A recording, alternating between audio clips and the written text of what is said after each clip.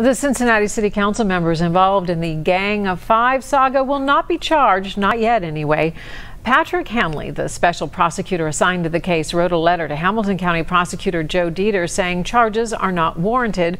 Deters is not releasing that letter. However, he is saying he does not consider the investigation closed. He wouldn't elaborate on why.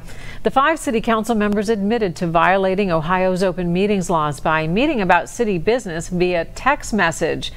It was connected to the former city manager Harry Black's resignation, taxpayers paid $101,000 to settle a lawsuit over the secret messages.